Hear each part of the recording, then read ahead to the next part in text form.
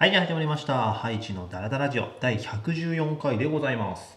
で、今回のテーマが、親の期待に応えるべきという感じで喋っていきます。で、あと下がね、期待はプラス、マイナスっていうのと、数二の次はと、こんな感じでいこうと思います。で、早速ね、ちょっと始める前に、いつもとちょっと撮影場所が違うんですよ。で、自分が今喋りながら聞いてる感じ、ちょっと響くんだよね、ここね、今撮ってる場所が。だから、あの、聞いてるみんながどう感じるか、自分あの、撮影してね、チェックはするんだけど、一応、ちょっと変な感じだったらごめんね。いつもと違うかもしれないんですけど。で、今回のテーマが、まあ、書いてある通り、その親の期待に応えるべきかどうかっていう相談ですね。で、これは、えっ、とね、二人あったんだよね。中3の子と、中3の女の子と高2の男の子だったかな。そうちょっとあの、性別逆だったかもしれないけど。そう。で、まあ、そんな質問をいただいたので、それに答えていこうと思います。で、まあ、これに関しては、まあ、勉強じゃなくてもいいと思うんですよ。今回は勉強の相談だったんだけど、まあ、時期も時期だと思うんでね、その、その子はね、お,、まあ、お父さんお母さんから、おね、親御さんから、ここに行きなさいと。で、ちょっと勉強は多分できる子なんでね、成績書いてなかったんだけど、でも自分が行きたいのは、そこよりも下のランクで、その、過ごしたいと、その高校を。でも、ね、親御さんは、せっかく取れてるんだから、こっち行きなさいよって、その将来のためにも、みたいな。そう。ですごい期待をかけられてて、答えてあげたいとは思うんですけど、でも、やっぱ自分の人生だし、大事な3年間、高校3年間だから、その親が言ってるような、親の期待に応えて、その高校に行くべきなんですかねみたいな。そう。でも、ねみたいな。そうそう。多分ね、基本的にいい子なんだと思うんでね、すごい、あの、優しいというか、こう、気を配るではないですけど、まあ、そんな感じなのかなっていう印象があったのね。で、これは、あの、今回このテーマを取り上げようと思った理由が、ちょっと昔のことを思い出してね、まあ、自分のこともそうなんですけど、あとは塾講師やってた時とかも、やっぱ多いんだよね、この、あの、なんだろう、悩みを持ってる子っていうのは。で、自分は個別指導で指導してて、で、あの、三者面談とか塾行ってる子、あると思うんだよ。親御さんね、呼ばれて。で、多分嫌だと思うんだけど、嫌い 嫌いな子がほとんどだけどね。実は俺三者面談ってほとんどやったことがなくって、塾で。いつも二者面談なの。で二者面談2回やるんだけど、あのー生徒と面談室に入って二者面談するっていうのと、保護者の方と二者面談するっていう。だから2倍労力がかかるって大変なんだけど、でも自分はそれちょっとこだわりでね、ずっとそれをやってて、で、やっぱり、こう、多感な時期だし、中学生とかなるとね、まあ、高校生もそうですけど、あの親御さんの前と子供の前ってやっぱりちょっと思ってること言いにくいっていう場面があると思うんですよ。これ多分保護者の方もそうだと思うんですけど、で特に保護者の方で多いのは、どうしても子供の前だと子供をけなしてしまうんですよね。結構。もうこの子うちでダラダラしてて、みたいな。そう。でも、二人で二者面談するとそんなこと思ってない。本当はもっと支えたいんですけど、どうしたらいいかわからなくてって。で、やっぱり親御さんもそうだし、大人っていうのはどうしても弱いところを見せたくないんだよね。そう、見せちゃいけないとも思ってるし、思ってる方の方が多いからさ。で、子供は子供で、こう、親だとね、反抗的な態度を取ったりするんだけど、実は二者面談で話したりすると、確かにイライラすることも多いと。マジうるさいんだけど、とか言うんだけど、でもちゃんと落ち着いて話していくと、うん、感謝もしてるし、とか、そう、悪いと思うんだけどさ、って。でも口に出ちゃうんだよね。まず一言目にさ、ムカつくとかうざいとか出ちゃうんだよね。どうしよっかとか言うのね。本当に。すごいやんちゃな子とかでも。そう。だから、やっぱり、ちょっと話がそれてますけど、塾講師って一つの仕事として、こう、内面をやっぱりこう出させてあげるというか、思ってることちゃんと言わせるっていうのも一個の仕事かなと。で、きっとそれが三者面談でできる方もいると思うんだよ。そう。でも自分はそれができないと思ったし、二者面談のがね、効果的だって、お互いにとってメリットが大きいと思ったからそうやってやってたのね。で、まあちょっとね、話を一回じゃ戻すと、その塾講師やってる時とかも、こう、勉強の期待もあるんだけど、あと部活の期待とか、そう、もあったりしてね。やっぱり期待っていうのは、中学生、まあ高校生だとちょっと割り切れる子も出てくるけど、中学生の段階だとね、やっぱり重たいんだよね。そう。で、結構、ここに関してはマイナスで感じてる子の方が多いと思います。で、これは逆も。今、期待されるって話をしてるんだけど、期待されないっていうことでマイナスに感じてる子も結構多いでこの期待されないっていうのは例えば友達と比べられてあのお母さんとかに「なんとかくんなんとかさんちのなんとかくんはさどうどうどうどうこうこうこうこうで」とか「なのにあなたはもう」みたいな「まあいいんだけどね」とか言われたりするの。とかあとは上にお兄ちゃんお姉ちゃんがいる場合。でそのお兄ちゃんお姉ちゃんの方がちょっと勉強ができるとか。部活ができるって場合比べられてああ自分どうせどどうでもいいんだろうな別の親にとってはみたいな。そう。これ逆もあるんだよねこういった場合の。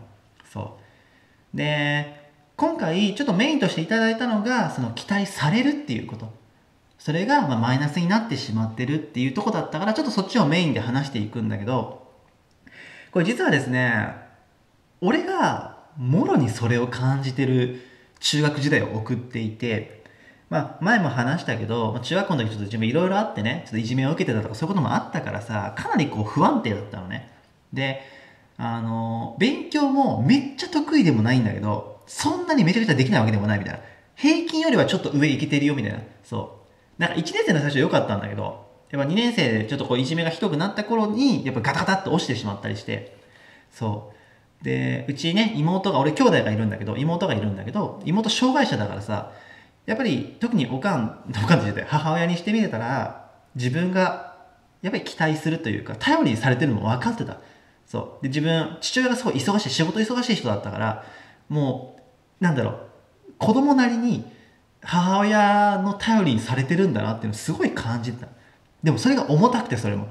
それも重たかったし、こう、期待されてる。そう。お兄ちゃんしっかりしてね。お兄ちゃん頑張ってね。みたいな、そう、感じの感じてたから、すごい嫌だったのそれがそうでも今振り返ったら期待されるって悪いことじゃねえなって今は思うその当時の自分にもし話せるとしたら自分もそういうきっと。できっとその時の自分は素直じゃないからうっせえなこいつとか思うと思うんだけど俺に対して。そう。だからきっと今回このテーマを話しててもは何言ってんの？って思う人もいると思う。本当に苦しんでる人の中には。でもあえて話してるのはこうやってそう思って過ごしてきて今30になったけどさ振り返ってみたらありがたかったなって思うんだよね。うん期待されるってやっぱり答えなきゃいけないとも思うし不安にもなるしこうなんだろう重圧にも感じるんだけどそれをプラスの力に変えれるかどうかは自分次第だなって思うでこれは自分が社会人になってやっぱり会社に入ってから期待されるってやっぱりレベルが違うの。失敗できないから、本当に。会社に入ってしまうと。そうでも、そこでやっぱりね、いろいろ期待されて、それを答えて、こう、過ごしてきて、もちろん答えられない時もあったけどさ、でもそうやって四苦八苦しながら、こう、いろんなことを考えて工夫して過ごしてきた人生って、振り返ったらプラスなんだよね、そこに。その時はマイナスに感じても。で、振り返った時に、あ、プラスだったなって、あの、ちょっと苦しかったよ。重かったけど、でもあれも良かったなって思えた時に、こう、やっぱ生き方が変わるというか、感じ方は変わるよね。そう。だから、あの、今ね、こう苦しんでるみんなに何を伝えたいかっていうと、今は苦しくても、振り返った時に笑い話になれるんだよって。そこで必死にこうあの頑張ってたら。で、今回のテーマとして親の期待に応えるべきかどうか、それは答えるべきとは思わないです、別に。でも大事なことっていうのは、自分がいつも言うのはね、自分の生徒に言ってたのは、自分の気持ちはちゃんといいなって思ってる。で、これは確かに、確かに親御さんの中でも、すごい理不尽な方もいらっしゃったの。え、そこまで話聞きませんか？子供のっていう方もいらっしゃるんだ、確かに。でもそんな比率めちゃくちゃ少ない。基本的には保護者の皆さんはこうね言うよいろいろ子供たちに対してみんなに対して言うけどでもみんなの幸せを願ってるその願い方がちょっと不器用で下手くそな親御さんもいらっしゃるけどでも基本的には願ってるんだでみんなの気持ちを知りたいとも思ってる。だって分かんないんだもん。もう。やっぱり会話する量も減ってるしこうお互いにねお互いにちょっと顔色を伺ってる時期でもあるから。そう。だからちゃんときちんとぶつける。例えばお父さんお母さんがここに行きなよって言ったとしても私はここに行きたいって。でもその時に感情的になって「やだよ私ここ行きたいんでうっせえな」って言ってしまったら話にならないじゃん。ではなくてちゃんと自分の気持ちとも向き合ってなんで行きたいのか。私はこうこうこういう理由でこう行きたいのって。落ち着いて話したら聞いてくれるから。でその話すことでもしかしたらマイナスに言ってしまうこともあるかもしれないけど。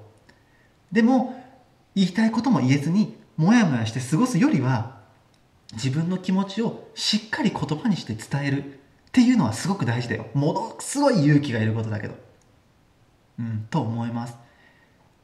でさっきも言ったように100発100中じゃないです。100%プラスになるわけじゃない。自分も塾塾講師やっててああ言わせない方が良かったなってこともあったの確かに。何回かは。でも95%以上は絶対プラスに好転する。それがね。だからこう自分の、ね、気持ちその言葉にするためには自分と向き合わなきゃいけないから。なんでって。ただ単に制服が可愛いから行きたいとかじゃなくて、ね、そうじゃなくってそれも一つの理由として OK だと思ってる。思ってるけどでも先に未来のことをちゃんと考えてるんだって。楽をしたいだけじゃないのって。楽をしたいだけだったら理由として通らないけどいろんなことを考えて私なりにしっかり考えた。僕なりにしっかり考えたんだって。いう姿をぜひ親御さんに見せてもらえたらなと思います。いいかな？それが自分のまあ思ってることというかそうだね。あの当時の自分に言うとしてもそう。自分は全然親に言えなかったから。そう。言った方が良かったなと思うもん。今の。今ね自分はあのおかんもおかんとか手で。母親と父親ともなんだかすごくいいのね自分は今はね。そう。言ったらよかったなと思う。で自分が今親になったからやっぱりそういう関係を作っていきたいなと思うもん。子供とね。そう。なのでまあ一つのね、まあ、そういった意見もあるかなぐらいに聞いてもらえたらと思います。ありがとうございます。で、最後にその数2の次はってことで、今、高校数学のね、撮ってるんですけど、えっ、ー、と、今日ダラダラジオアップして、明日で撮影が終わるのかな？数2の。アップはちょっとじ、もうちょっと後だと思うんですけど、で、数2の次、すごく悩んだんですが、今、えっ、ー、と、すごいね、お願いが多いのは数 A の続き、もしくは数 B なんですよね。で、あとは受験対策動画も言われてるんですが、受験対策動画は、えー、単発ですけど、ちょっとずつ上げれるように頑張ります。ちょっとね、あの、今、新しい仕事の関係で本当に撮影時間取れなくなってしまって、あの、ね、更新が本当に少ないんで申し訳ないんですけど、できる限り頑張るから、受験対策動画はね。で、メインの撮影なんですが、数 B にします。はい。えっ、ー、と、数 A の続きではなくて数 B の方を先に行きます。で、並行してやればいいじゃねえかって話なんですけど、あの、ここね、1、2週間、その新しい仕事が始まって、やってるんですけど、やっぱり物理的に無理です。あの2科目メインでやっていくのは。多分数 B だけでも追いつかないっていうのも目に見えてるんですけど、ひとまず、えーと、数 B の方が依頼が多かったっていうところと、まあ、単元的にもベクトル数列なので、あと確率が、あの、受験でもね、すごくよく出てくるとこでもあるので、そっちをメインでまず取っていこうと思いますので、もしよかったらね、そっちの数 B シリーズも見てみてください。では今回はハイチのダラダラジオ第114回親の期待に応えるべきというテーマで喋らせていただきました、えー、今回もねここまで聞いていただいて本当にありがとうございました。で来週再来週なんですけどちょっとですね多分撮ります。撮るんですが来週が自分ちょっと引っ越しなんですね。このその休み期間に。でその次が10万人記念イベントで全国飛び回ってる時なので事前にちょっと撮影できてアップできるようだったらするんですが、もしかしたらちょっと曜日がずれるとかになるかもしれません。で、テーマはまだ決まってないんですが、一応ずれたとしても1週間に1本っていうのは撮ろうと思ってますので、もしよかったらね、そっちの方も聞いてみてください。では、今回はこれで終わります。以上です。ありがとうございました。